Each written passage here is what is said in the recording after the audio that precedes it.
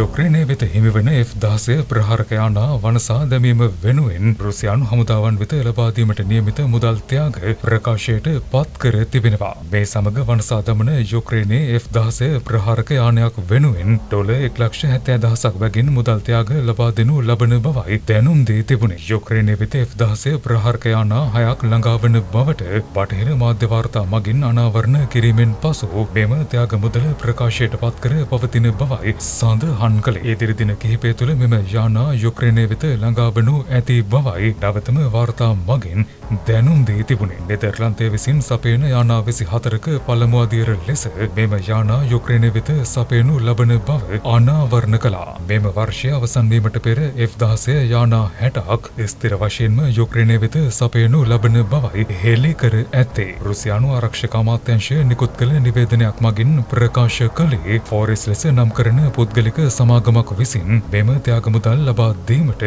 නියමිත බවයි. මේ සමග යානා වෙනසීමට සම්බන්ධ වන සියලුම සෙබළුන් වෙනුවෙන් විශේෂ මට්ටමේ අතිරේක ත්‍යාග ලබා දීම සිදු කරන බවද සඳහන් කළා. යුක්‍රේනය තුළ හෝ රුසියාවේ ගුවන් අවකාශය තුළදී මෙම F-16 යානා වනසා දැමීම සිදු කළ යුතු බවයි දැනුම් දී තිබුණේ. යානයක් වනසා නොදමා රුසියාවට රැගෙන ඒමට සමත් වුවහොත් වඩා දැවන්ත මට්ටමේ මුදල් ත්‍යාග ලබා දෙනු ලබන බව දැනුම් දී තිබෙනවා. යුක්‍රේනය වෙත හිමිවන පළමු F-16 යානය මෙම සතියේ ලිවිව් වෙත ළඟාවීමට නියමිතව පවතින බවයි හෙළි කර තිබුණේ. මෙම යානා සම්බන්ධයෙන් නිශ්චිත තොරතුරු ග්‍රහණය කර ගැනීම සඳහා රුසියානු ඔත්තු සේවා වඩාත් සක්‍රියව ක්‍රියාත්මක වන බවයි අනාවරණ කළේ. මේ අතර ක්‍රෙම්ලිනේ ප්‍රකාශක දිමිත්‍රි පෙස්කෝ කියා සිටියේ මෙම යානාවන් යුක්‍රේනය වෙත ලබා දීම මගින් සටන් පෙරමුණේ කිසිදු විශේෂිත වෙනසක් සිදු නොවන බවයි. මෙහිදී සපයන F-16 ප්‍රහාරක යානා වනසා දැමීම සඳහා රුසියානු ජනපතිවරයා රජු නියෝගයක්ද නිකුත් කර පවතින බව සඳහන් කළා. මීට පෙර බටහිර රාජ්‍යන් යුක්‍රේනය වෙත සපයනු ලැබූ ලෙපට්ටු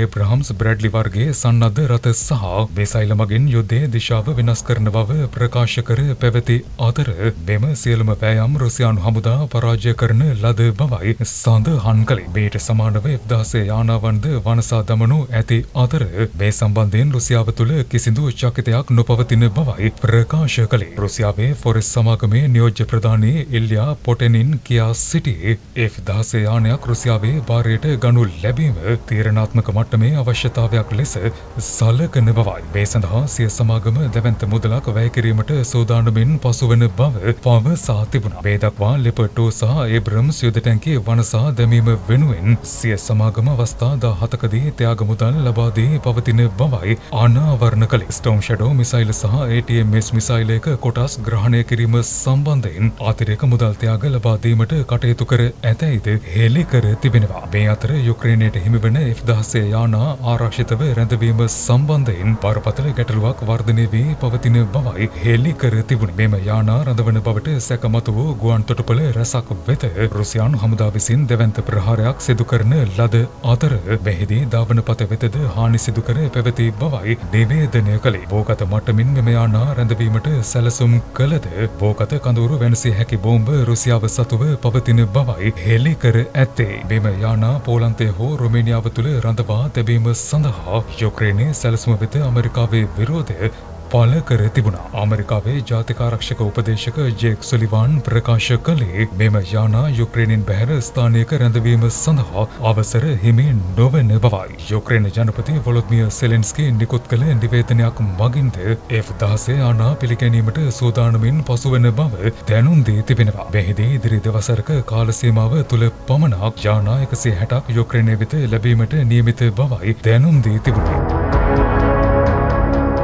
ලොව වටා වැදගත් පුවත් දැනගන්න ලංකා ඒ නිවුස් සබස්ක්‍රයිබ් කරන්න. නවතම වීඩියෝ සඳහා පහත සීනුවේ බොත්තම සක්‍රිය කරන්න.